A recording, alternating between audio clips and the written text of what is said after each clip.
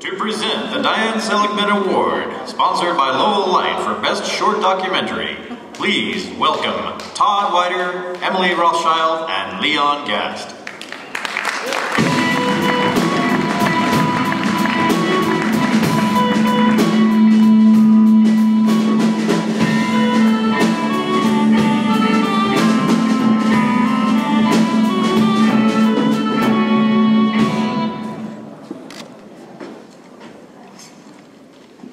Thank you very much.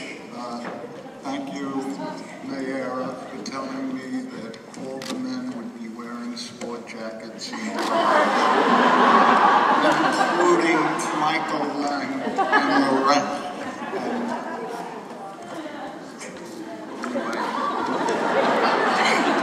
You look very handsome. thank you.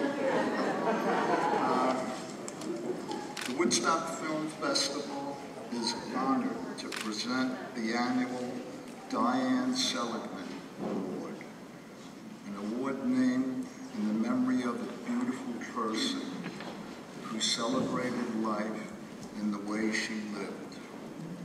The Diane Seligman Award is presented to the Best Short Documentary, Best Short Narrative, and the Best Student Short to honor films that are vibrant, life-affirming, and created by filmmakers filled with energy, creativity, and passion. These awards are given at the request of Diane's husband, Marvin Seligman, in the hope that it will help young, vibrant, and talented filmmakers carry on their work and pursue their dreams. The Diane Seligman Award winner for Best Documentary Short will receive $500 in Technicolor DCP services. The films in final competition for Best Short Documentary are The War Photographers, directed by Stephen Kachons. Our Curse, directed by Tomasz Sliwinski.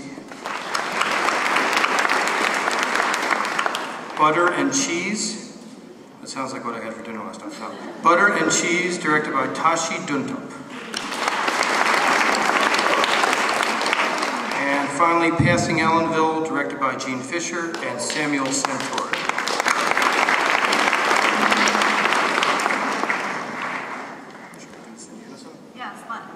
Now do this in unison. Yes. The Diane Diane Seligman Award for Best Short Documentary goes to Our Curse, directed by Tomasz Sliwinski.